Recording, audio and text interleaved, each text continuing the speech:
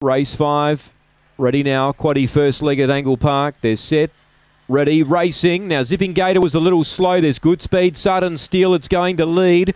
Now, second placing, Paddy Max, about a length and a half away. Three back then on the inside. we got Sea Winds passed by Zipping Gator, who ran to third, gets the leaders within four and charges quickly. Back to fourth, Caroma Storm behind those Sea Winds.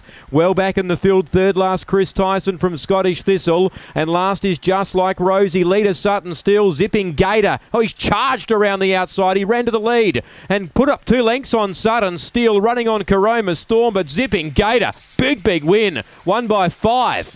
Massive win first up of the trip. Caroma Storm in a photo with Sutton Steel uh, for second and third. Paddy Max behind those. Probably got fourth from Sea Winds. Chris Tyson and just like Rosie back at the rear. That's a big win. 34.99. Zipping Gator. Oh, he's a good type, this fellow. He ran the trip right out. Zipping Gator, five and a quarter the winning margin. That's a good win. He's came away to win from Sutton Steel and Caroma Storm. And Paddy Max gets fourth, 34.99. Zipping Gator. Good win. Off the speed, he charged around the outside to the judge the first time around, and when he got to third, he accelerated quickly after those leaders.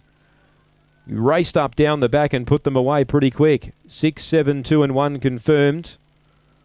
34.99 the run. 880.